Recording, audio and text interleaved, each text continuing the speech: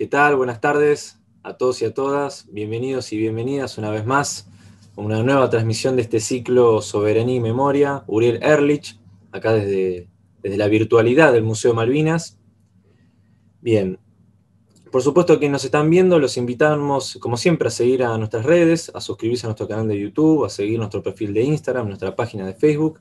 Quienes nos están viendo en Facebook, obviamente los invitamos a, a compartir esta transmisión y por supuesto, quienes nos están viendo, también los invitamos a saludarnos y a decirnos de qué parte del país son, de dónde nos están viendo, desde qué provincia, de qué localidad, porque nos jactamos, además de ser un programa marvinero, ser un programa federal, donde nos, nos ven de todas las ciudades de nuestro querido país. Bien, la idea de, esta charla eh, va a ser muy interesante, porque la idea es converger, digamos, una gran cantidad de, tópicos que tiene que ver con, nuestra soberanía en Malvinas. Y no solamente vamos a hablar de Malvinas, vamos a hablar de filosofía, vamos a hablar del mundo actual tan complejo en el que estamos viviendo en esta coyuntura. Así que, ¿quién mejor que para hablar y poder ensamblar estos tópicos con nosotros, Ricardo Foster? ¿Qué tal, Ricardo? ¿Cómo andas? Muy bien, muy bien, buenas tardes. Bien, se, me ocurrió empezar, digamos, ¿no? esta entrevista con mm. una pregunta así como de lo más general y después ir a lo, específico de Malvinas. Vos sos filósofo. De formación soy filósofo, sí. Eh, he recorrido el camino de la licenciatura, del doctorado, etcétera, etcétera, y enseño hace muchísimos años eh, filosofía en un sentido muy amplio del término, ¿no? porque cruza la historia, la política, la estética, etcétera, etcétera, etcétera. Bien, la primera pregunta, así intuitivamente, es, tomando en cuenta cuando, cuando nos enseñan filosofía por ahí en secundario, a comienzos de una carrera universitaria, siempre está la clásica tríada eh, Sócrates, Platón, Aristóteles, y dentro del nacimiento de la filosofía en la antigua Grecia también está la discusión de cuál es el rol del filósofo en la sociedad, digamos, ¿no? Alejándonos de la antigua Grecia y yendo a la actualidad en el siglo XXI, ¿Cómo sentís vos? ¿Cuál es el rol que tiene un filósofo hoy en la actualidad? Y particularmente eh, a la hora de vincularlo con un proyecto de nación o con un proyecto de país. A ver, está muy bien lo que planteas. En el nacimiento de la filosofía hubo un equívoco, una provocación. Siempre hay que recordar que Sócrates, ese personaje histórico que de alguna manera está detrás de la mirada platónica del mundo, fue condenado a muerte por su comunidad, por haber perturbado y por haber llevado a la juventud hacia un camino que no debía haber ido, hacia una suerte de subversión de los valores establecidos en su época. Y frente a la decisión del tribunal que le dio la opción a Sócrates, o de aceptar el ostracismo, es decir, la expulsión, el exilio o beber la cicuta, Sócrates, que al mismo tiempo era un ciudadano de Atenas y que para él su comunidad era el centro del mundo, decidió que era preferible la cicuta porque la muerte era un destino mucho mejor que el desarraigo, el exilio, etcétera, etcétera. Es decir, la filosofía nació en un contexto histórico en el que molestó, perturbó, conmovió estructuras establecidas. Uno puede tomar ese comienzo de la filosofía, esa simbólica allí lejos y hace tiempo de la filosofía y proyectarlo al siglo XX primero, después al siglo XXI, incluso a su recorrido histórico, y ver que efectivamente ha habido siempre en el interior de la filosofía eh, ese espíritu de puesta en cuestión, de poner de alguna manera las cosas en un sentido distinto al del sentido común, el interrogar de una manera diferente a como el espíritu de una época se interroga a sí misma, el perturbar, el conmover, el molestar, o tomando la acepción que la palabra crítica implica, tomar las cosas desde la raíz, es decir, discutirlas, pensarlas, abrirlas, cuestionarlas. Entonces, desde ese lugar, la filosofía se alimenta del pensamiento crítico, no es que la filosofía es siempre molesta, es siempre como un tábano, es siempre rebelde, iconoclasta, ¿no? Hay filosofías del establishment. La filosofía también es lo que los alemanes llaman una Weltanschauung, una concepción del mundo. Y una concepción del mundo puede ser liberal, puede ser conservadora, puede ser nacionalista, puede ser universalista de izquierda, puede ser pro mercado, puede ser pro estatalista, puede ser ecologista, antiecologista.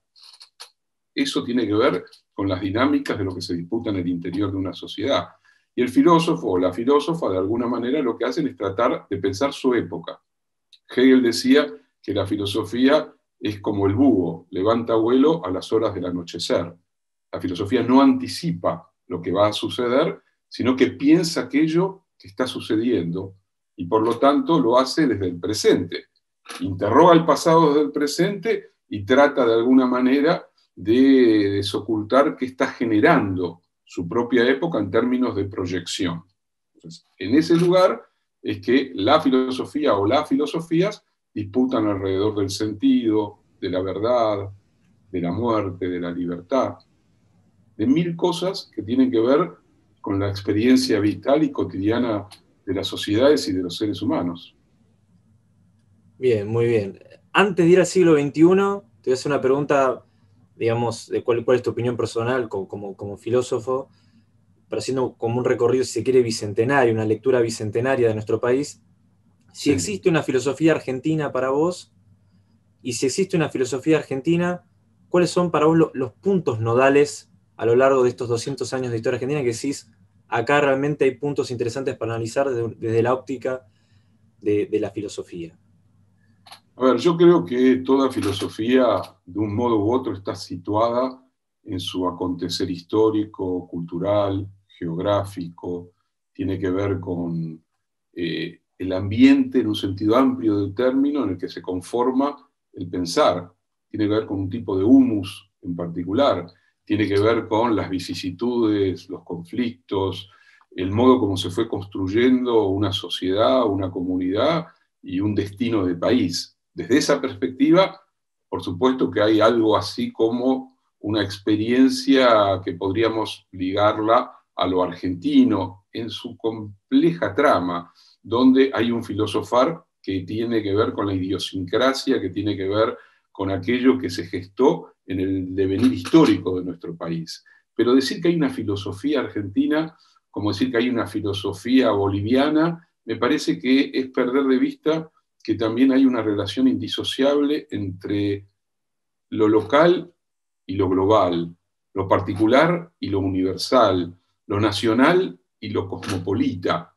Eh, todos los grandes pensadores argentinos de diversas corrientes han, hecho algo que no es menor, que es pensar desde su experiencia como argentinos o argentinas, pero al mismo tiempo sabiendo que la Argentina es una tierra de mezclas, de hibridación, de sincretismos, sincretismos culturales, sincretismos étnico-culturales también, sincretismos políticos, que nos alimentaron diversas tradiciones y que nuestra lengua expresa eso, porque hablamos una lengua que viene del otro lado del Atlántico. Sin embargo, es una lengua transfigurada por la experiencia de la conquista, de la colonización, del sometimiento de los pueblos originarios, de las violencias que se generaron en el interior de esas experiencias, pero también es una lengua en la que habitó los sueños de emancipación, de independencia, de libertad, de igualdad, la creación cultural en gran medida de Argentina y de América Latina, se hizo básicamente en una lengua que se fue metamorfoseando también. Entonces vos me preguntás, borgianamente, ¿hay un idioma de los argentinos? Y hay un idioma de los argentinos. Claro que hay un idioma de los argentinos. Pero ese idioma de los argentinos también, de un modo u otro, está atravesado por la lengua de Cervantes, por la lengua de Quevedo, por la lengua de Machado, por eh, las canciones de Joan Manuel Serrat, pero también está atravesado por la negritud, está atravesado por el quechua, por la aymara, por el guaraní. Si yo le preguntase a un paraguayo cuál es su lengua, el paraguayo me diría, a ver, probablemente en lo inmediato y en lo más profundo diría el guaraní. Y sin embargo el guaraní de ese paraguayo está intervenido por el español, o al revés, el guaraní de, los sometidos, de los incontables, se rebeló frente a la violencia de la lengua de los dominadores. Entonces todo eso hace que cuando uno plantea el tema de la identidad, pues yo creo que tu pregunta va hacia la identidad, la identidad, por suerte, es una amalgama, es una conjunción, eh, es una mezcla. Yo no creo en las esencias, en las esencias inconmovibles. No creo que haya un ser nacional como una entelequia que está desde siempre, desde el origen de los tiempos, y que permanece intocado y que cada generación lo que hace es interpretarlo de acuerdo a sus propias condiciones. Lo que sí creo y que es, es que hay algo que tiene que ver con la argentinidad, para darle un nombre, que generación tras generación se problematiza, se reinventa, se explora y que a su vez interroga el pasado a partir de lo que su propio presente y su propia época le está planteando. Entonces yo diría, hay algo específico. Cualquiera que haya viajado por América Latina, yo he tenido la suerte de enseñar en otras partes del mundo, uno sabe que cuando, y si está en departamentos de estudios latinoamericanos, por ejemplo, sabe que hay un cajón especial en el armario de eh, las currículas que dice Argentina. Y que dice Argentina y que dentro de ese cajón hay otro cajón que dice la especificidad argentina.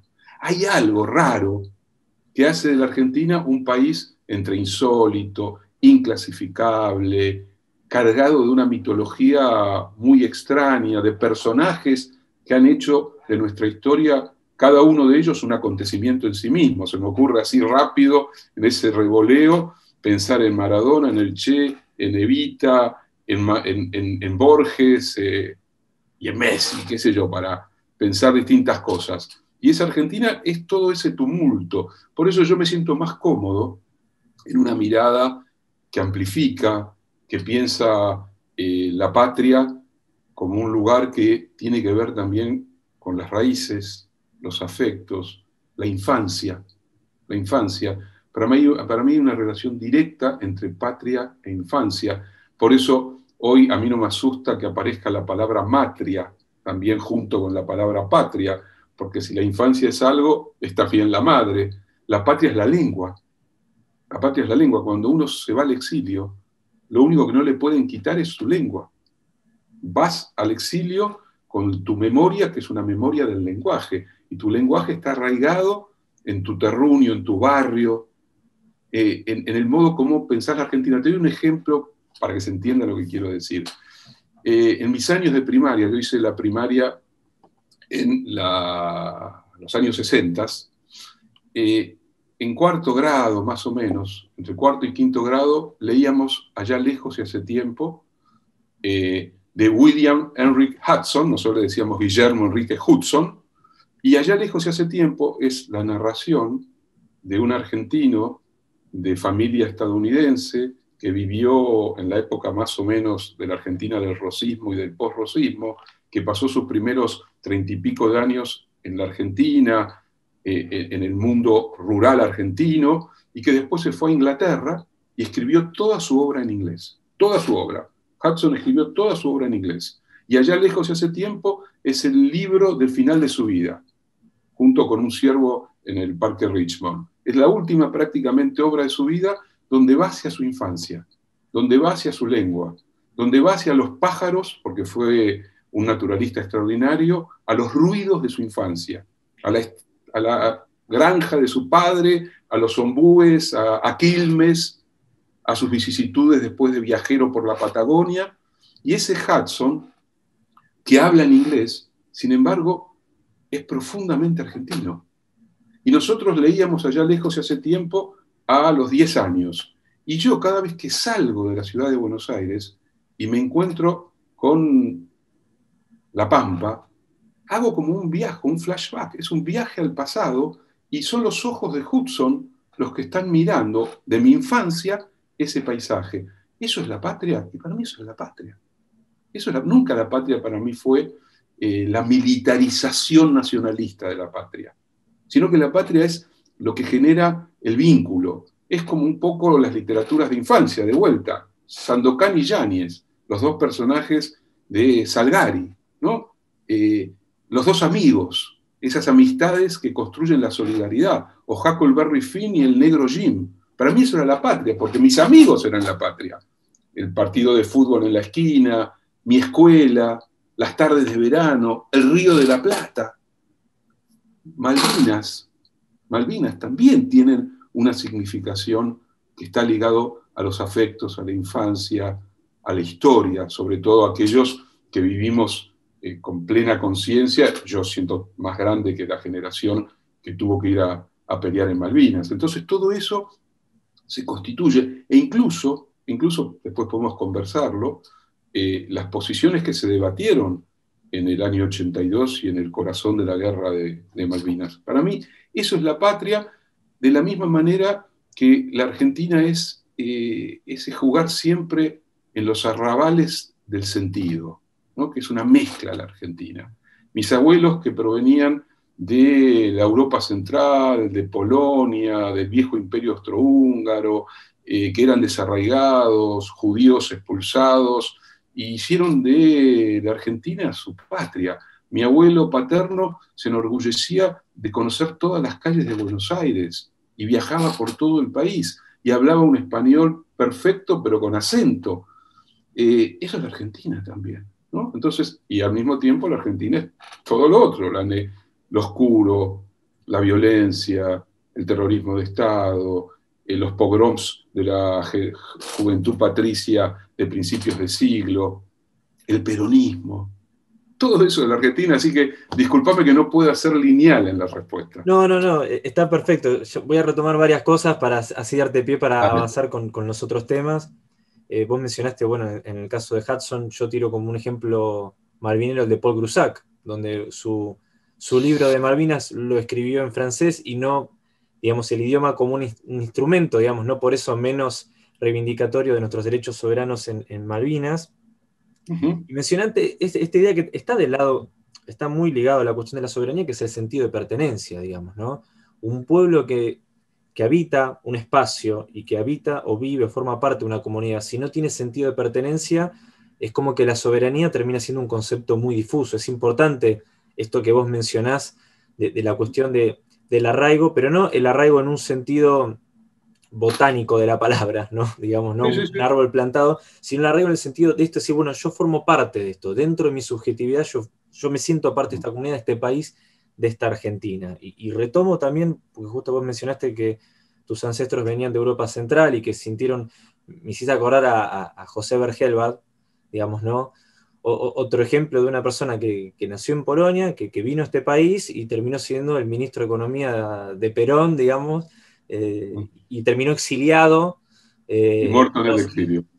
Claro, por, justamente... que conocía profundamente la Argentina porque se hizo como comerciante de las rutas del norte y que era un amante profundo de la Argentina. Eh, exactamente. Y, ahora sí, vamos a hacer el ping-pong filosofía de Malvinas, vamos a ir yendo y viniendo.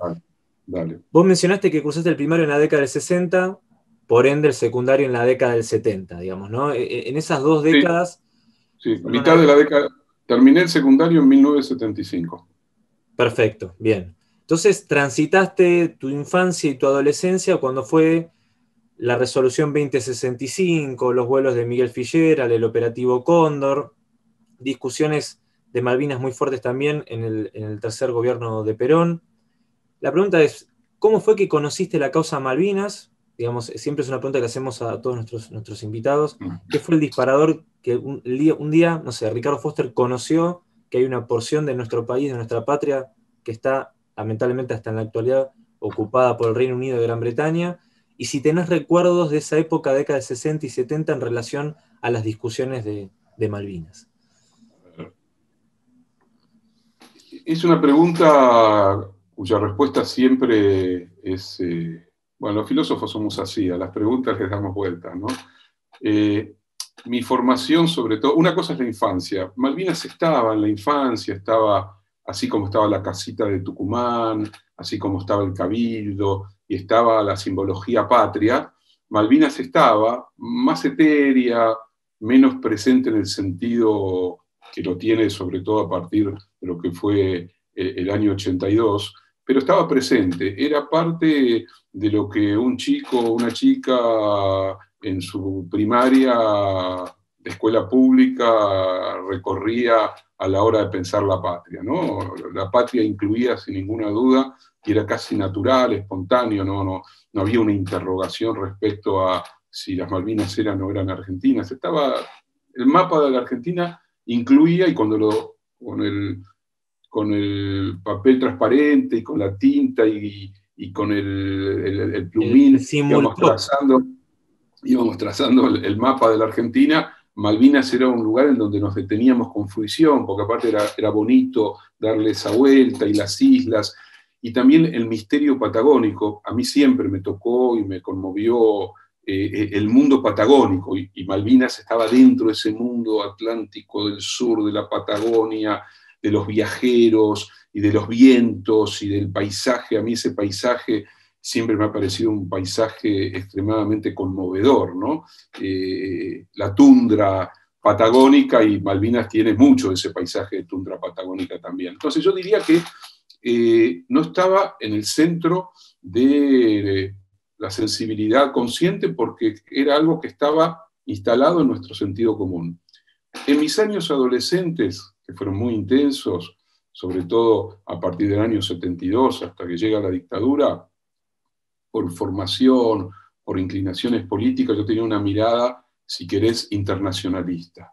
Provenía de una izquierda internacionalista, eh, creía fuertemente en la hermandad de los pueblos, creía obviamente en el antiimperialismo, en la descolonización, eh, tenía una visión más integral, digamos, ¿no? y, colocaba a Malvinas dentro de un proyecto integral de liberación latinoamericana, de transformación de la sociedad, de socialismo, de lo que fuere. ¿no? Entonces, eh, por definición te diría que me, colocaba en una visión latinoamericanista, vamos a llamarla también eh, internacionalista, y a su vez reivindicaba, eh, porque era una época muy dominada por los movimientos de liberación nacional en África, en Asia, reivindicaba profundamente eh, los procesos de descolonización y lo que eso significaba.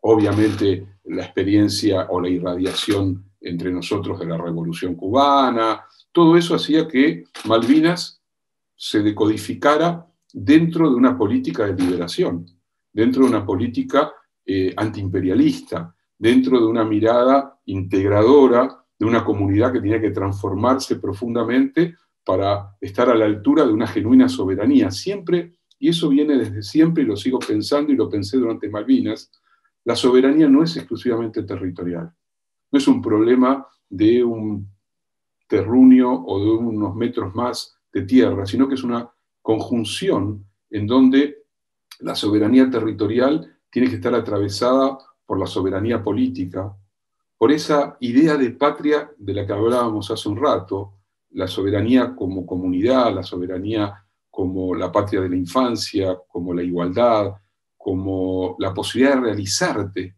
libre e igualitariamente en el interior de tu espacio vital. ¿no? Entonces, para mí, eh, la causa Malvinas estaba absolutamente ligada a la causa argentina, en el sentido que también había que liberar a la Argentina, también había que independizar a la Argentina de los poderes reales, de la desigualdad económica, y ni hablar, por supuesto, cuando llegó la noche de la dictadura. Entonces, mi relación con Malvinas, yo la veo siempre desde ese lugar, por un lado, como presencia espontánea, natural e intensa en la infancia, y después como parte de una generación que creyó que la política podía transformar el mundo y que para transformar el mundo había que establecer los vasos comunicantes entre una idea de soberanía eh, más territorial con una idea de soberanía ligada a un concepto más amplio de emancipación, de liberación, de una democracia radical en el interior de la vida, de la vida social. Entonces, eso es lo que también me predispuso a la hora del acontecimiento Malvinas del 2 de abril del 82. Y, un, poco relacionado con eso, así avanzamos así cronológicamente en dirección hacia el siglo XXI. Año 82, digamos, ¿no? Acontece la... la, la en ese año. Claro, acontece la, guerra de Malvinas, vos mencionaste que sos de una generación anterior, ¿no? Sí, clase 57. Claro. Eh, nosotros quienes somos del siglo XXI, somos un poco más jóvenes, digamos, nosotros eh, interpretamos esos hechos históricos, mientras que en tu caso, y, quienes estuvieron en la guerra, como por ejemplo nuestro director de museo, son testigos y protagonistas de la historia. Nosotros, que nacimos después, le interpretamos. A lo largo de las décadas, de alguna manera, es como que siempre se separó eh, o se tendió a ver como dos episodios dentro de un mismo contexto, pero como que había alguna diferencia, quizás generacional. Cuando hablamos de los desaparecidos, por ejemplo, pensamos en la primavera del 73, la famosa primavera camporista. Y de repente, cuando nos encontramos en la Guerra de Malvinas, es como si nos encontráramos con una generación distinta, ¿no? como otro sujeto político. Vos, como previo a la generación de la guerra, porque vos hiciste clase 57, ¿cómo interpretaste la guerra de tu lugar? Y sobre todo después de la guerra, ¿cómo fueron mm. esas lecturas, interpretaciones y esas vivencias? También? Brevemente, ¿no? Eh, cuando es el golpe del 24 de marzo del 76, yo tengo 18 años, acababa de terminar el secundario, me fui de la Argentina una semana después del golpe, el 30 de marzo del 76, y estuve los primeros tres años de la dictadura fuera, fuera del país. Eso me permitió también eh, tener una percepción desde afuera de la tragedia del horror y de lo que implicaba la dictadura eh, en un sentido muy descarnado y muy violento. Volví a la Argentina todavía en dictadura y bastante antes de, Malvinas, ¿no? al final de la década del, 70, en una Argentina postmundial, que ya era una Argentina, digamos, donde la brutalidad de los primeros años de la dictadura se había aliviado un poco y donde comenzaban a desplegarse toda una serie de movimientos subterráneos, contraculturales, de resistencia, etcétera, etcétera. Y comencé o retomé mis estudios universitarios en, eh, el periodo anterior a, Malvinas. Eh, cuando estalló la guerra, por esas paradojas, el, el 30 de marzo del 82 hubo una famosa movilización llamada por la CGT, donde de una manera muy impresionante y muy visible, una parte bastante importante de, la sociedad se manifestó en contra de la dictadura, salimos a las calles y ese día tuve mi, bautismo de fuego porque fui a parar a una celda de la comisaría de la calle Lavalle y Ayacucho, con un montón de, jóvenes, ¿no? en esa noche que al, mismo tiempo era medio carnavalesca porque todos sentíamos que estábamos frente al paso decisivo del final de la dictadura. Eso era claro, eh, incluso los policías de la comisaría nos trataban con, cuidado, con respeto, ellos también olían que se acababa el tiempo de la dictadura. Digo esto porque salí de la comisaría justo el día anterior a la noche, a que a la madrugada nos levantáramos con eh, los diarios diciendo ocupamos Malvinas. ¿no? Para mí era todo un impacto. Tenía plena conciencia de lo que, lo que eran eh, eh, esos militares, esa dictadura, lo que significaba Galtieri, el recuerdo, por supuesto, absolutamente presente de los compañeros y compañeras, de los desaparecidos, del horror concentracionario. Entonces, para mí fue un impacto durísimo un impacto durísimo, porque decía, no, no, acá hay algo que está mal, acá hay algo que no, no, no, no cierra. Y el impacto de la Plaza de Mayo, mm, con una multitud vitoreando a Galtieri, yo nunca sentí la más mínima conmiseración por aquellos que se cambiaban eh, la vestimenta y pasaban a ser militares patriotas después de haber sido militares torturadores.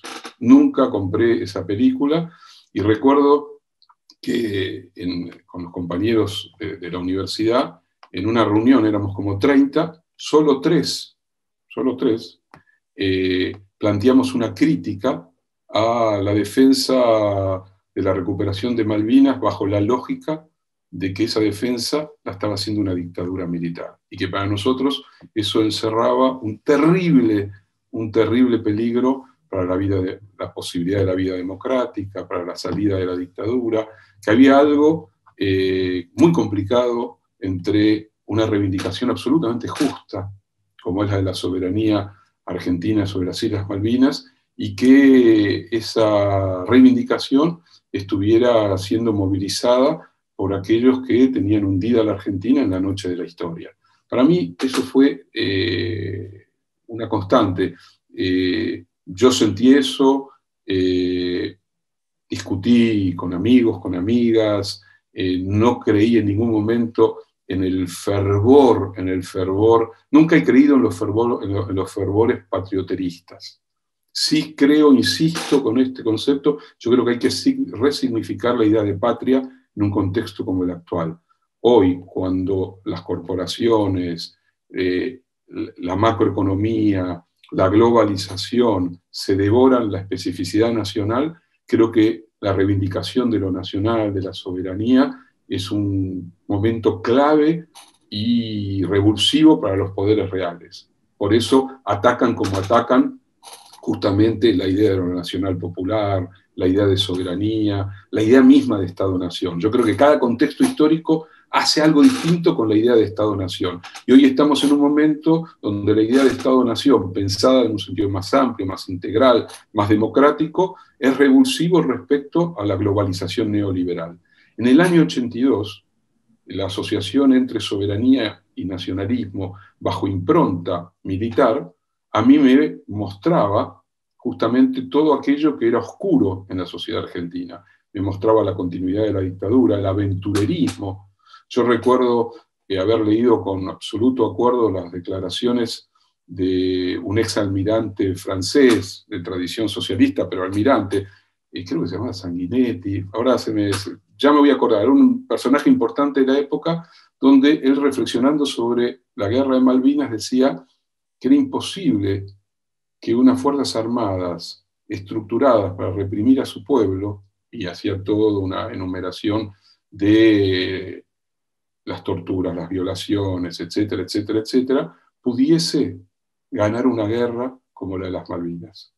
Es decir, que había algo que por supuesto no estaba eh, en los soldados, en los conscriptos, incluso en, alguna parte, incluso en alguna parte de la suboficialidad que podía tener una cosa absolutamente patriótica en el buen sentido del término, eso no era transferible a una oficialidad que se había formateado a sí misma bajo la lógica de la doctrina de seguridad nacional, bajo la lógica de la guerra antisubversiva, que había tenido como formadores ideológicos a los militares franceses que habían hecho de su estrategia antisubversiva en Argelia una especie de currícula de formación para, en este caso, sobre todo el ejército argentino, en un espectro bastante significativo. Entonces, un joven como era yo en aquel momento, en el año 82, yo tenía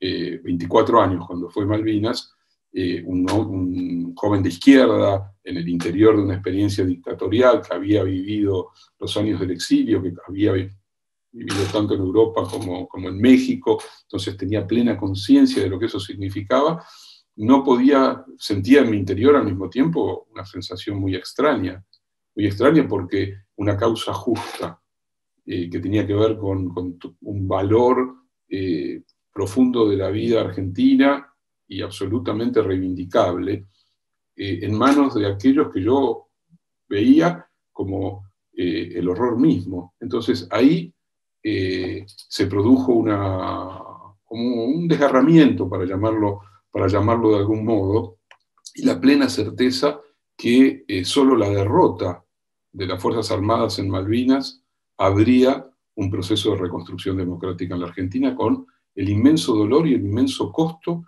que esa derrota iba a generar, entre otras cosas, retrasando en décadas la posibilidad de recuperación de las Malvinas. Porque lo que terminó generando la aventura eh, de Galtieri y los suyos fue un retraso histórico de la causa, de la causa Malvinas. Y por supuesto, yo creo que acá hay que hacer una diferenciación fundamental entre eh, los soldados que fueron a Malvinas, eh, su propio padecimiento, su propio heroísmo, su propia conciencia y su propia memoria respecto a su papel eh, en ese momento. El papel de ellos fue absolutamente legítimo, reivindicable. Eh, yo diría que probablemente en un sentido sean portadores de una de las formas morales más intensas de la historia argentina, porque pese a todo, pusieron el cuerpo, el entusiasmo y pusieron la vida, ¿no? porque creían efectivamente que estaban defendiendo eh, lo que había que defender, que es el derecho a, la integridad, a la integridad territorial. Pero a su vez, uno no puede dejar de decir, a mí me gustó mucho cuando eh, Cristina Kirchner eh, desclasificó los documentos Rattenbach a los 30 años. tenía mucho temor ese día, porque sabía de la inclinación de Néstor y de Cristina, muy de patagónica, muy malvinera, y le temía a un giro nacionalista en su recuperación de Malvinas 30 años después. Y como muchas veces, muchas veces Cristina me sorprendió gratamente y ella hizo hincapié en un discurso histórico para mí y que fue muy importante eh, que la sociedad argentina pudiera tener ese trabajo memorable, hecho desde adentro del propio ejército argentino respecto a lo que había sucedido en Malvinas, que ella hiciese una profunda reivindicación de la soberanía como soberanía democrática, soberanía social, soberanía territorial. Es decir, ese, ese, ese, pasaje a la causa Malvinas como una causa genuina, noble, y al mismo tiempo plantear que esa causa genuina y noble solo podía ser el producto de un pueblo soberano, de un pueblo soberano, me pareció extraordinaria y reivindicadora hacia atrás de la generación de Malvinas. Reescribe en parte la posibilidad de interpretar Malvinas. ¿no? Ese me pareció un punto muy, muy, muy, muy interesante. Ahí tomando en cuenta lo que vos estás mencionando, porque bueno, como sabrás, hay diversas interpretaciones respecto de la guerra de Malvinas, hay interpretaciones de como en tu caso la generación previa al 82, la interpretación de quienes estuvieron en la guerra, que a su vez hay un arco muy amplio, y después los que nacimos después de la guerra y que estamos recopilando visiones para tratar de generar una visión propia adaptada al siglo XXI. Retomando un poco el principio, ¿no? Vos mencionaste que vos tenés un espíritu universalista, digamos, si se quiere, de mancomunidad humana, pero que al mismo tiempo, eh, digamos, sentís un, sentimiento de soberanía argentina en relación a Malvinas. Desde un punto de vista, si quiere, de perspectiva, de filosofía, ¿Cómo, se hace para ensamblar eso que parecieran ser fuerzas contradictorias? Una idea de una humanidad y al mismo tiempo esa idea de la soberanía argentina en Malvinas.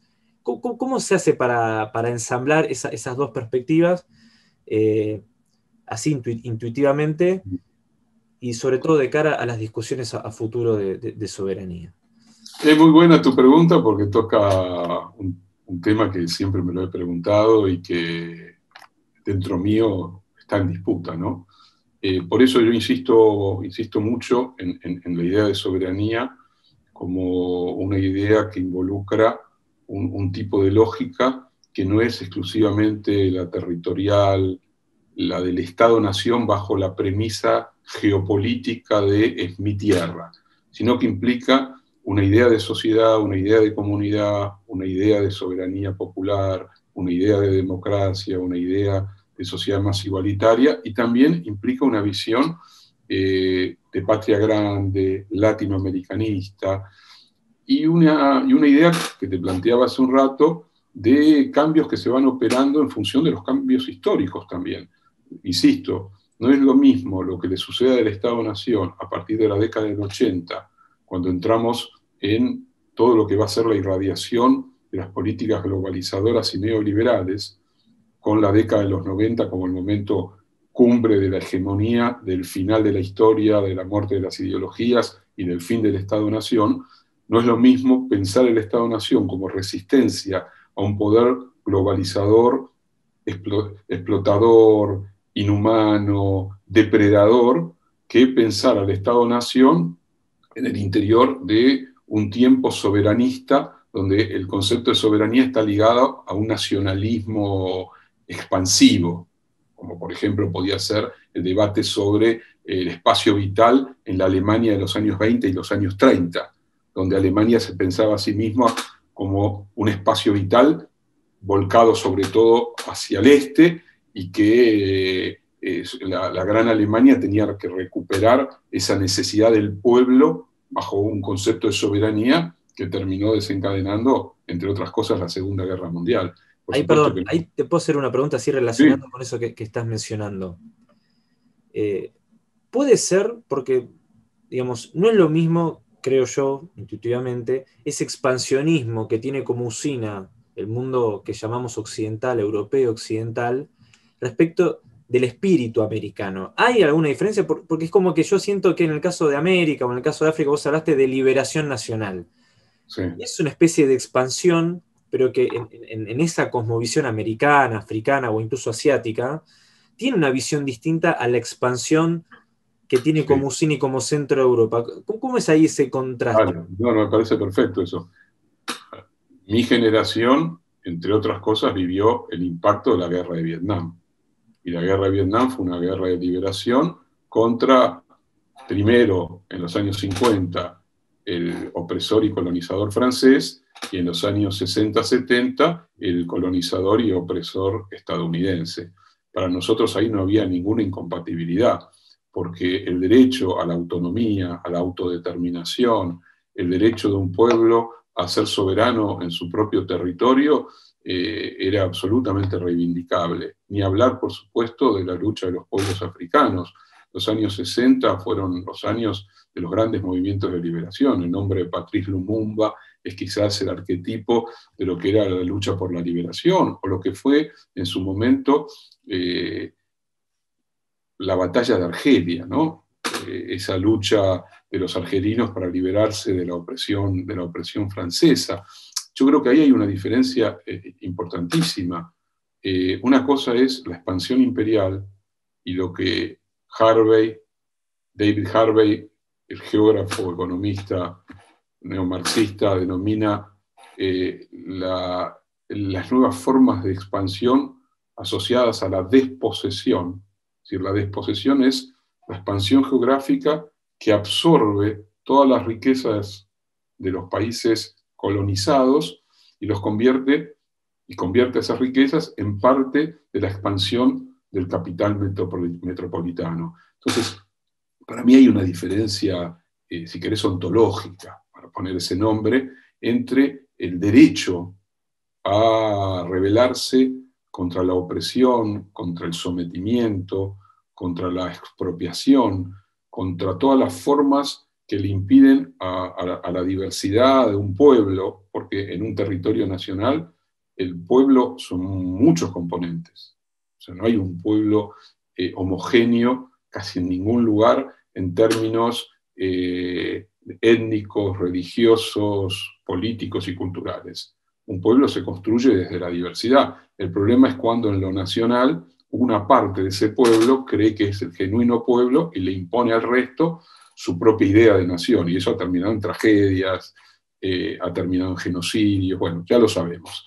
En el, caso, en el caso, cuando vos, volviendo a tu primera pregunta, me preguntás por lo argentino, yo no puedo sino pensar lo argentino como eh, esa extraordinaria, compleja, contradictoria y también maravillosa mezcla de pueblos originarios, afrodescendientes, aquello de descendimos de los barcos, una frase que marcó la educación de generación y generación de argentinos y argentinas y por eso tan naturalmente puede salir, nos venimos de los barcos. Los argentinos somos todos descendientes de españoles, de italianos, de rusos, de esto, del otro, y de repente abrimos los ojos y descubrimos que hay una Argentina, India, mestiza, negra, etcétera, etcétera. Pero bueno, entonces yo pondría que efectivamente hay una diferencia entre lo que fue el imperialismo clásico, sobre todo el anglo-francés, ¿no? donde tanto Francia como Inglaterra, y particularmente Inglaterra por el poderío que tuvo a lo largo de todo el siglo XIX, hicieron del mundo su territorio de apropiación. Y otra cosa también fueron los fenómenos de la segunda mitad del siglo XX, que llega hasta nuestros días, donde esas formas imperiales mutaron en formas de dominación que tienen que ver con eh, mecanismos económicos, sometimientos de otro tipo, eh, desposesión, apropiación de las riquezas naturales, eh, que ya no se juega tanto en el dominio territorial, por eso hay un escándalo que se llama Malvinas también, porque es uno de los últimos territorios, junto con Gibraltar y algún otro, que sigue estando bajo las condiciones de definición de una posesión colonial. Entonces, frente a eso, yo creo que es reivindicable y es necesario plantear eh, una idea de soberanía. Pero insisto, eh, toda la misma democracia no es algo dado de una vez y para siempre. No es una entelequia la democracia que permanece siempre igual a sí misma, como si Montesquieu la hubiera inventado una vez y para siempre, y esa es la democracia que tenemos que pensar como universal abstracto. la democracia es una construcción social, colectiva, cultural, histórica. Es falso que la única democracia posible sea la liberal anglosajona, que hay y debe haber otras experimentaciones y que tendríamos que ir hacia otras formas de participación democrática. Eh, lo mismo pienso en términos de soberanía.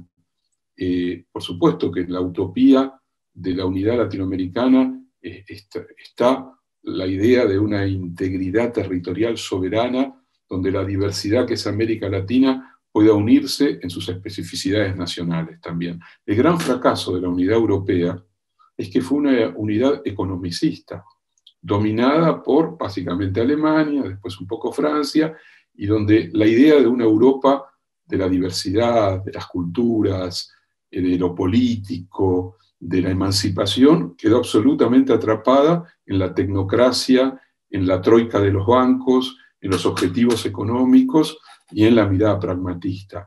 Entonces, para mí soberanía es otra cosa, unidad. Eso, vos podés construir la unidad de la comunidad europea y, construir una monstruosidad donde frente a la primera epidemia lo que queda en claro es que cada uno busca salvarse como puede. O buscas construir un tipo de unidad donde se integren eh, las diversidades. Es muy complejo. Eh, pongo otro, otro, otro elemento para el juego ahí. Malvinas también debiera estar dentro de una mirada crítica respecto a los recursos y uso esa palabra entre comillas, me parece tan mal utilizada, a los recursos naturales, a la riqueza del mar argentino, a eh, la explotación de la naturaleza. Creo que una política de soberanía tiene que incluir fuertemente una política ambiental, tiene que incluir fuertemente una política de cuidado, tiene que plantearse, no que queremos eh, recuperar la soberanía de Malvinas para seguir dándole a, a lo que dé a la pesca, a los combustibles fósiles, a la depredación de la naturaleza, sino que queremos también que Malvinas vuelva a la casa de los argentinos y argentinas, porque la casa de los argentinos y argentinas se plantea desde una perspectiva en donde la cuestión de la naturaleza, del medio ambiente, es una cuestión política, económica, social y cultural importante. eso te cambia también la idea de soberanía porque la idea de soberanía es la discusión sobre la Amazonia, por ejemplo. Eh, es simplemente una cuestión de soberanía. Brasil eh, puede decirle al mundo, nosotros hacemos lo que queremos con eh, ese reservorio planetario, o hay que encontrar esos puntos de intercambio donde la soberanía territorial, política, a su vez debe acompañar un proyecto que tiene que ser mundial. Si no es mundial, es imposible de redefinición muy profunda de lo que llamaríamos las matrices productivo-económicas que hoy están llevando el planeta a la extenuación de las formas actuales de vida. Entonces, eso también está en un debate sobre, sobre Malvinas, ¿no? O sea, que, cómo pensar la geopolítica, cómo pensar la soberanía, cómo pensar la territorialidad, no como una variante de una soberanía exclusivamente territorialista, sino que incluya también eh, todas estas otras dimensiones. Voy con, si te parece, una misma pregunta, pero con tres escalas distintas. ¿sí? Vamos, vamos con la primera, vamos de lo local, de lo que es Argentina, y nos vamos a ir eh, haciendo esa misma pregunta, pero con distintas escalas geográficas, si se quiere, planetarias. Algo que tiene que ver con, la cuestión de la soberanía, con un sentido de pertenencia, entre otras cosas, al interior de nuestro país, tiene que ver con cierto grado de consenso. Y no podemos negar que hace ya unos cuantos años se viene hablando de la grieta, de que hay una fragmentación política interna muy, fuerte en, nuestro país. La pregunta es, ¿cómo, digamos, cómo lidiar digamos, ¿no? ese diagnóstico de nuestro país que es innegable, ¿no?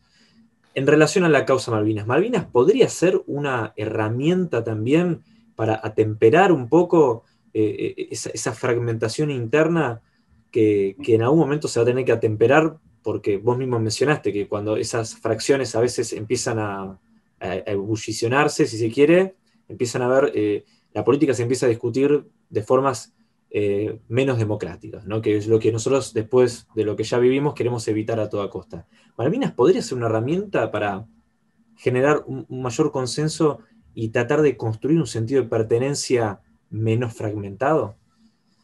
Eh, sí, sí, creo que digamos, es una de esas causas que en general cortan transversalmente a la sociedad, aunque hay una parte de la sociedad que tiene una visión diferente, eh, enfrentada a la idea de soberanía y, al modo como la Argentina viene eh, discutiendo en los foros internacionales su derecho a las Malvinas. Usted acordará, sabe mejor que yo, ese documento que firmaron hace un tiempo atrás algunos eh, políticos, intelectuales y demás. 2012. ¿Eh?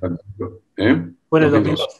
2012, planteando que en verdad solo se podía discutir el tema Malvinas y al mismo tiempo se habilitaba el derecho a la autodeterminación de los Kelpers, bueno, y planteando que eh, de alguna manera la Argentina había jugado un papel violento, ofensivo, etcétera, etcétera, frente a algo así como esa gente buena que lo que defiende su derecho a la autodeterminación. Bueno, una corriente anglófila que en la Argentina eh, siempre estuvo, estuvo presente y que uno puede discutir, eh, obviamente, con ellos, eh, desde un lugar eh, absolutamente diferente, ¿no? Y que hay que hacerlo. Creo que me parece que en términos de mayorías, eh, Malvinas es una causa reivindicada ampliamente, ampliamente. Me pasa y me parece que en el tiempo de la brutalización comunicacional, en el tiempo del fake news, en el tiempo de una neobarbarie, una neobarbarie donde la política es reducida a una lengua cloacal, eh, es muy difícil que haya una causa que se pueda poner por encima de la conflictividad por la que está atravesando la sociedad. Es muy difícil porque, fíjate, estamos atravesando una experiencia tremenda, tremenda como el COVID-19, la pandemia, y sin embargo, casi desde el primer momento, hablando de ese inicio donde estaban medio sorprendidos, la violencia con la que buscaron desacreditar, descalificar, horadar y hacer estallar las políticas sanitarias del gobierno y de cuidado, fue brutal.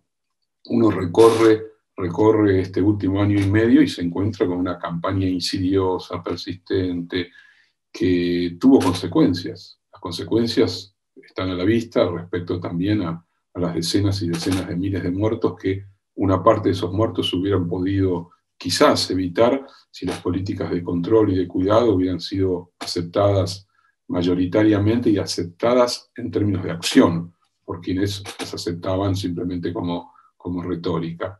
Entonces, vos me preguntás si soy un poco escéptico respecto a eso, porque creo que la Argentina está en una disputa por el sentido, en una disputa por qué tipo de sociedad, qué tipo de democracia, cuando hay gente que sale a la calle diciendo que la república son ellos y que eh, salen diciendo somos la patria y de nuevo viene ese, fetichismo del campo, una construcción formidable ideológica del año 2008 que transformó a Violcati, dueño de 10.000 hectáreas en la zona núcleo de la Pampa Húmeda, en un campesino. ¿no? Esa es la metamorfosis más extraordinaria que uno puede imaginar dentro de eh, la comedia o tragicomedia argentina, que un terrateniente sea concebido como campesino. ¿no? Recuerdo un editorial de La Nación que decía el campesino y hablaba de Biolcati. Y después la idea de la familia Ingalls. ¿no? El campo es ese lugar maravilloso donde los tratos se cierran dándose la mano y donde el gringo vino a trabajar y tiene las manos encallecidas y en la ciudad viven los vagos, los choriplaneros, los populistas, lo que sé yo, tantas cosas. Fue una construcción formidable porque se alimentó también de años de educación donde uno estudiaba que toda la riqueza argentina venía del campo, la vaquita, los trigales, etcétera, etcétera. Eso plantea que la Argentina es una sociedad que eh, sigue sin resolver algo fundamental, que es que efectivamente para dar un salto cualitativo y cuantitativo tiene que encontrar algún tipo de consenso. ¿Malvinas puede ofrecerlo? Puede ofrecerlo hasta cierto punto. Me parece que para los poderes reales en la Argentina, eh, si la causa Malvinas supone un acuerdo y un consenso que habilita también otra lógica de distribución de la riqueza en la Argentina, que, que habilita también un rol activo del Estado, que habilita que los subalternos tengan capacidad de decisión política, tiran causa Malvinas por, por la ventana, no les importa. Eh, nunca les importó. Esto también es importante tenerlo en claro. Hay un cierto sector, eh, no, no, quiero ponerlo de la clase media, quiero, digo, un cierto sector que eh, siempre ha tenido como una gimnasia inmediata el repudio a la Argentina como sociedad imposible, como país imposible. Esa frase de los 90, qué país de mierda, si uno se tropezaba con sus propios cordones, la respuesta era qué país de mierda, vuelve a reproducirse en los medios de comunicación en los últimos meses. Vos leerás todo el tiempo notas en La Nación, en Clarín, en Infobae, de argentinos y argentinas que para realizarse se han tenido que ir del país. Puede estar viviendo en Islandia en pleno invierno con 20 grados bajo cero sin poder salir de la casa, pero es feliz, está maravillado del mundo porque salió de la cloaca argentina. Esa idea de país de mierda hace que haya una enorme falsedad a la hora de ponerse una bandera argentina, de festejar los goles de la selección o de decir queremos que las falso. Es una falsedad absoluta. En cambio, sí creo que hay una amplísima parte de esta sociedad que involucra sectores populares, clases medias y demás, que tienen en su interior y espontáneamente un sentimiento de pertenencia afectivo, donde Malvinas ocupa un lugar eh, simbólico muy, muy importante. Pero bueno, me parece que siempre hay que manejar esas cosas con un cierto, con un cierto cuidado. Eh, eh, fíjate, los otros días, un ejemplo, ¿no? me, me, impactó. Eh, Inglaterra-Italia. Parece una tontería, final de la Copa de Europa. Por esas casualidades del fútbol, los tres penales cerrados por, por Inglaterra, terminó de cerrar una película que de la causa inglesa, vamos a ganar después de cincuenta y pico de años por primera vez una copa, etcétera, etcétera, pasás al racismo inmediatamente. En la Argentina sabemos lo que es eso, ¿no? Detrás de el mito del crisol de razas, somos un país eh, donde no hay racismo, Argentina ha practicado en su interior múltiples formas de racismo, múltiples, desde la invisibilización de las poblaciones afrodescendientes hasta eh, el genocidio de pueblos originarios, los pogroms eh, en, la segunda década del siglo XX, etcétera, etcétera, etcétera, eh, muestran y las prácticas cotidianas, bolitas, paraguas, brazucas y todo eso, chilotas, todo, todo, ese mundo de la lengua que denigra al otro, que incluye también el choriplanero, el negro de mierda, el cabecita, todo eso, plantea que siempre hay que tener mucho cuidado con el modo como se asume una causa que pueda exacerbar una lógica reaccionaria y racista. Creo que una de las características que puede tener Malvinas en el buen sentido del término es que la experiencia vivida con Malvinas, la herida y al mismo tiempo el deseo que Malvinas despertó de que Malvinas vuelva a integrarse al territorio argentino en el sentido de la soberanía total, nos permite eh, ser mucho más cuidadosos mucho más cuidadosos con un mero, eh, una mera retórica de un nacionalismo fascistoide. Porque hoy estamos viendo el resurgir, bajo nuevas condiciones, en Europa se ve muy claro, de lo que llamaríamos un etnonacionalismo o nuevas formas de fascismo ligadas a la identidad nacional, todo para los italianos, nada para los migrantes, todo para los húngaros, nada para los migrantes, y así podríamos seguir. Nuevas derechas que trabajan sobre el sentido común de una autoctonía, de una autoctonía extremadamente compleja. La Argentina eh, tiene la capacidad, creo, y, la potencia sociocultural de poder sortear ese, ese peligro. Pero hay que construirlo cotidianamente y creo que un museo como el de Malvinas ahí tiene una gran tarea también, porque vos ahí perfectamente podés trabajar lo que es una causa justa con esa mirada más, si querés, holística o totalizadora de una causa justa, que incluye la diversidad, la diferencia, los derechos, la democracia, la soberanía plena, América Latina, etcétera, etcétera, etcétera.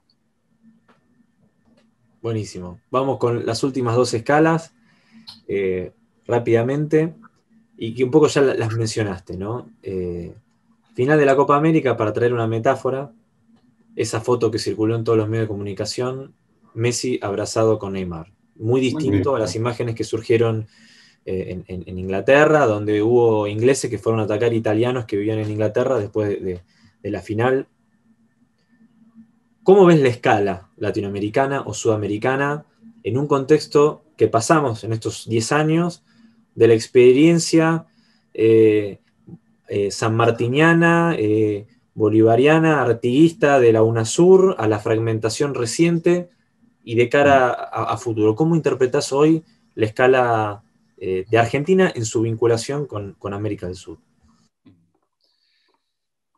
Sin dudas que la, la intensidad de esos primeros 15 años del siglo XXI fue una experiencia histórica única. Nunca estuvo tan cerca, sobre todo América del Sur, de un proyecto compartido. Porque antes la idea de la unidad latinoamericana era una retórica que estaba, ¿no? Estaba en todos. Perón cuando decía, el 2000 nos encontrará unidos o dominados. Desde Ugarte en adelante, eh, digamos, la idea del latinoamericanismo era era un protocolo que estaba en el programa de los partidos populares, de izquierda, etcétera, etcétera, pero cada país de América Latina iba por su lado, la idea de unidad era una cosa muy difícil, etcétera, etcétera, etcétera. Lo único que unió a Sudamérica de forma trágica en la segunda mitad de los 70 fueron las dictaduras militares. ¿no? Hay un programa común, un plan compartido, un proyecto de dominación y de exterminio que compartieron Argentina, Bolivia, Uruguay, Brasil y Chile, ¿no? Y Paraguay, o lo compartieron. Eh, por eso a todos nos impactó, nos maravilló y nos dio un aire maravilloso. Eh, no sé, recuerdo obviamente esa caminata única en el Bicentenario, cuando desde la Casa Rosada al Cabildo bañados de fervor popular, porque ahí estaba el pueblo en las calles y los líderes de América Latina caminaban, digamos, de, cara al viento, para decirlo poéticamente. Y uno sentía que había algo, algo muy profundo que se hacía, que se hacía realidad con todos los problemas que también el tiempo aquel planteaba. Después vino la reacción, así como eh, el neoliberalismo en los 80 es una profunda contrarrevolución, no solo económica, sino también cultural, política, ideológica, busca la construcción de una nueva sociedad. Hubo un intento también de hacer retroceder a los países de Sudamérica a, a ese tiempo pleno de una contrarrevolución neoliberal. Yo creo que lo acumulado en esos primeros 15 años generaron que en muchos de estos países, estoy pensando en Argentina, en Bolivia, eh, pudiese contener esa oleada neoliberal. Y también hay novedades, ¿no? Las experiencias de Chile, sobre todo Chile, ¿no? Es conmovedora. A veces trato de ponerme en la cabeza de un momio chileno lo que debe estar sintiendo viendo a una mapuche presidenta de la Asamblea Constituyente y haciendo una reivindicación de un Estado plurinacional y de la igualdad, la fraternidad, la diversidad, ¿no? una oligarquía dura como la chilena que creyó que ya tenía cerrado el paquete de la dominación histórica y que en Chile ya no había manera de salirse del el nudo terrible que había atado el pinochetismo y la complicidad después de la clase política chilena. Y sin embargo, vemos lo que, vemos que está sucediendo en Chile, lo que está pasando en, Colombia. hay, América Latina tiene algo tremendo. Tiene siempre esa capacidad de seguir disputando, seguir disputando. Me parece que desde ese lugar creo que estamos en un momento eh, interesante porque por primera vez se puede dar una correspondencia con un país también muy significativo para lo que es la historia de América Latina, como es México. El hecho de que hoy López Obrador sea presidente de México permite ahí eh, algún tipo de, de, potencialidad que antes no, no existía.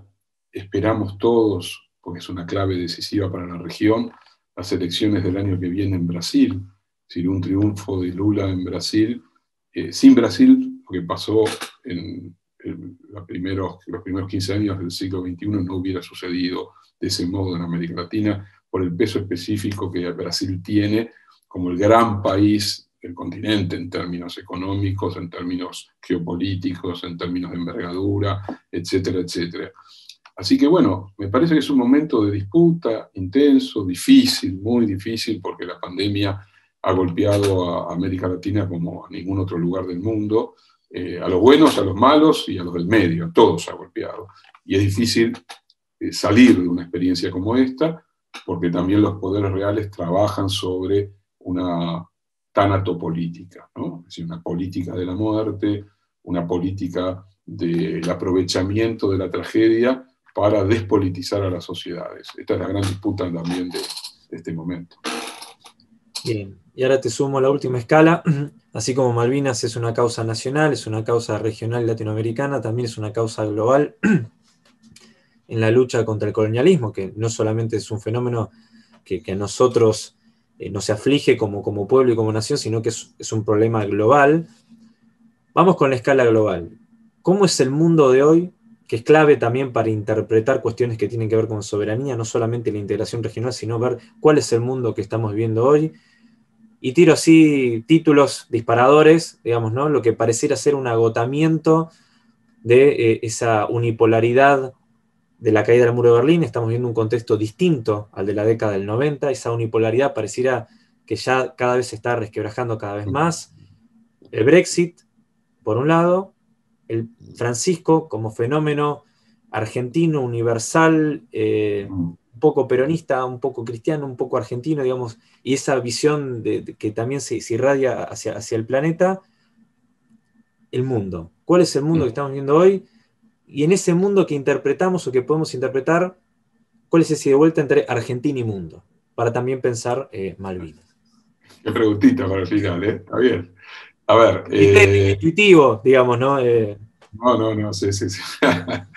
Eh, creo que claramente estamos viviendo el fin de la hegemonía estadounidense.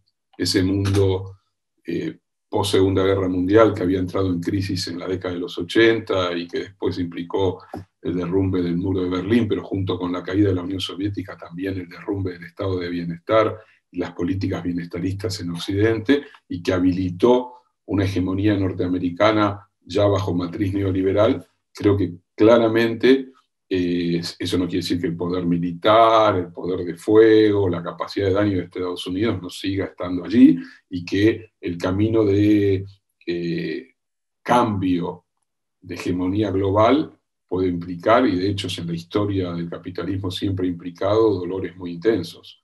Cada uno de los momentos de crisis y de cambio de soberanía generaron eh, pensando, por ejemplo, en la crisis de hegemonía inglesa, Primera Guerra Mundial, eh, la crisis final de todo ese armado del capitalismo, del laissez-faire liberal de los 20, desemboca en la Segunda Guerra Mundial, estado de bienestar, etcétera, etcétera. A mí me queda claro que no solamente Estados Unidos no ha podido eh, cumplir su gran sueño de ser al mismo tiempo potencia económica y militar y cerrar sobre eso una especie de eternización del imperio.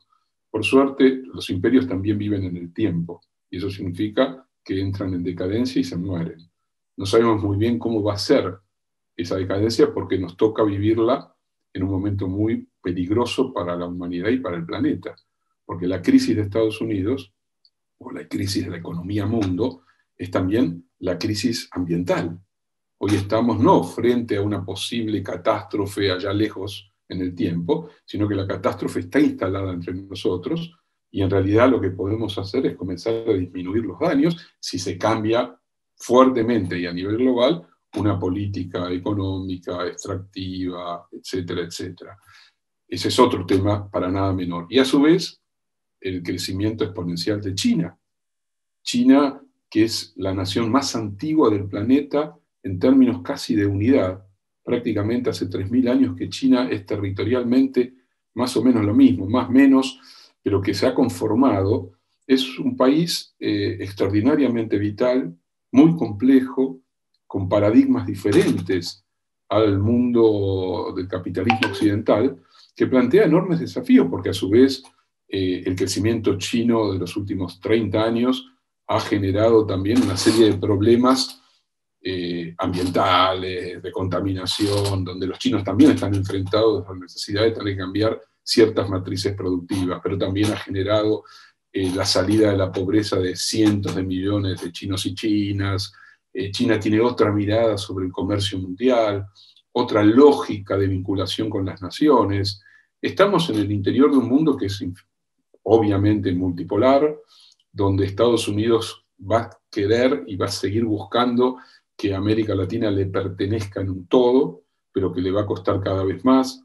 Lo que está pasando ahora en Cuba hay que leerlo con preocupación, porque me parece que es parte también de, una lógica eh, donde el imperio muestra eh, el rostro más, eh, más brutal y más miserable al mismo tiempo. ¿no? La venganza continua y eternizada en el tiempo contra la revolución cubana. Eso no significa que, por supuesto, Cuba misma no tenga que comenzar a, revisar problemas de arteriosclerosis, de cristalización, de burocracia, pero que hay un bloqueo, que hay una, un continuo hostigamiento, esto también es real, y una política de debilitamiento de, de un país que tiene una carga simbólica muy fuerte para América Latina, por lo que Cuba siempre ha significado. Pero también está lo que está pasando en Perú con Castillo, que no se lo nombra presidente, eh, la doble vara para juzgar la violencia homicida continua del Estado colombiano frente a la situación venezolana la demonización absoluta de Venezuela que les ha permitido a los poderes reales, casi a nivel global, hacer de Venezuela el come niños de la época. Todo eso es parte de una geopolítica. La Argentina, creo que muy razonablemente y con mucho acierto, con la pandemia se vio muy claramente, ha buscado salir de la trampa de la occidentalización de la política internacional.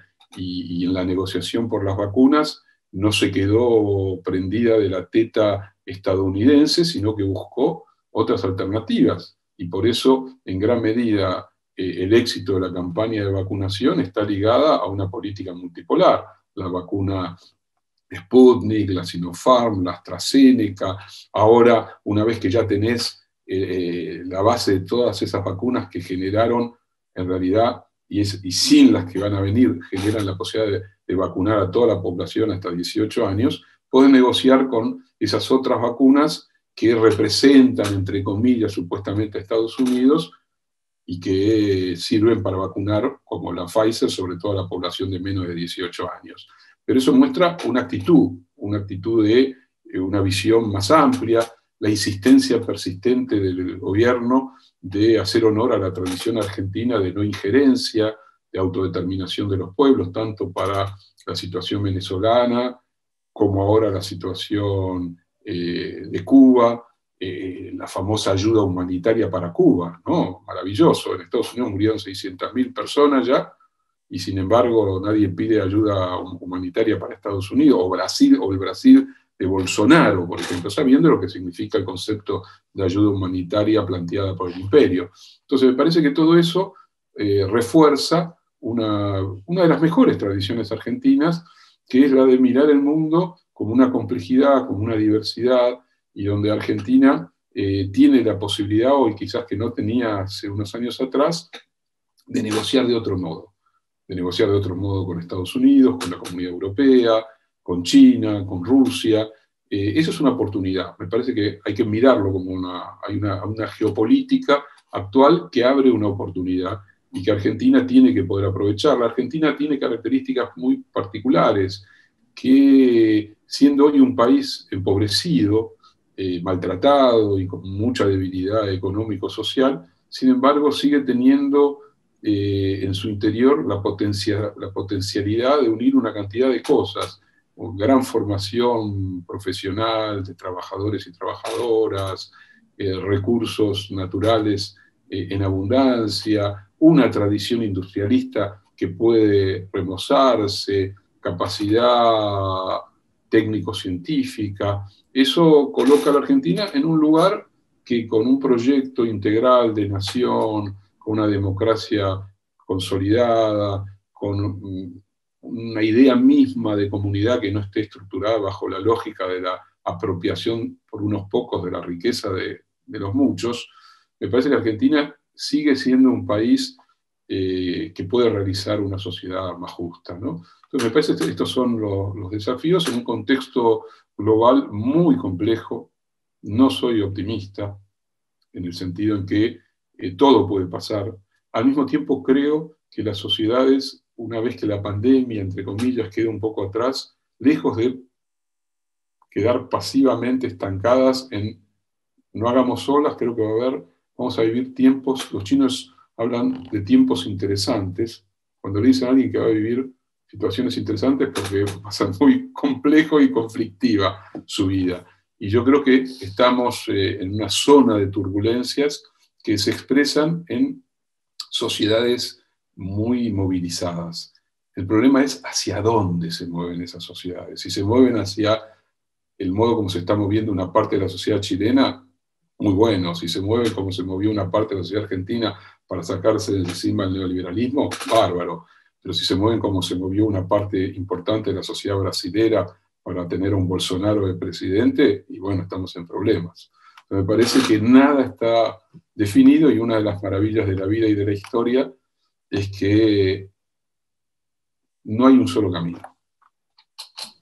Bueno, buenísimo. Esperemos que esos caminos lleven a la recuperación de nuestra soberanía en Malvinas, digamos, en esa aleatoriedad de caminos hay un camino que creo yo que es, inevitable en el tiempo, eh, quizás lo que se discute es la duración de ese tiempo, pero que el hecho en sí es, inevitable, que es esta reivindicación de, nuestra soberanía y recuperación de la soberanía en el Atlántico Sur eh, como parte de, de toda una América. Así que Ricardo, muchísimas gracias por tu tiempo, por haber participado de este programa, de esta transmisión.